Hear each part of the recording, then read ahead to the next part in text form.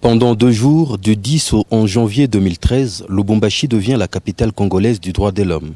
Il se tient à l'hôtel Caravia un séminaire sur le thème Droits de l'homme et développement, organisé conjointement par le réseau national des ONG de droits de l'homme de la RDC, Renadoc, et la SBL Justicia en présence des délégués représentant plusieurs ONG internationales. L'idée essentielle étant celle de poser la problématique du développement en passant par le droit de l'homme. Le gouverneur Moïse Katumbi Chapoué prend part aux assises en présence de certains représentants du corps diplomatique, les ambassadeurs du Royaume de Belgique et d'Afrique du Sud notamment.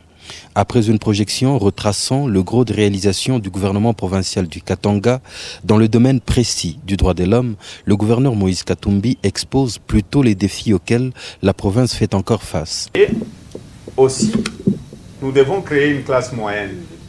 Au Katanga, les riches sont là et les pauvres sont plus bas. Après un jeu de questions-réponses, les séminaristes se retrouvent à nouveau le lendemain pour la séance de clôture.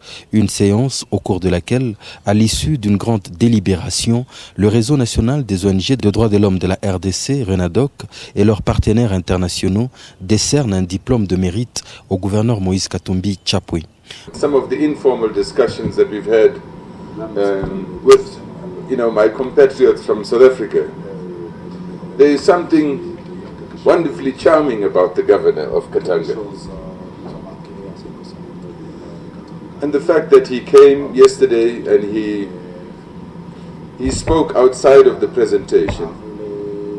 I think you said you don't want to focus on achievements, you want to focus on problems, and you want to share the problems with you. I think for me, it, uh, it's an indication of somebody who wants to engage.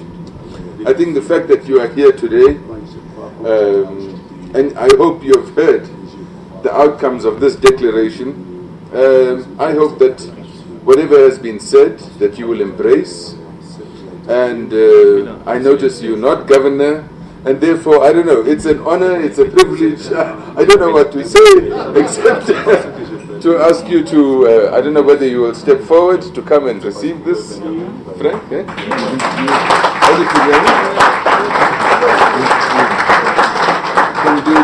So, on behalf of Renadoc, uh, Justica, and the delegates, uh, the governor, it's a pleasure.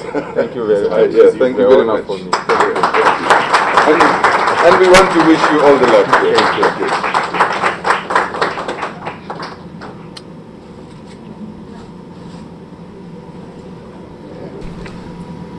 Il y a eu des recommandations. Nous allons essayer de les appliquer au niveau de notre province.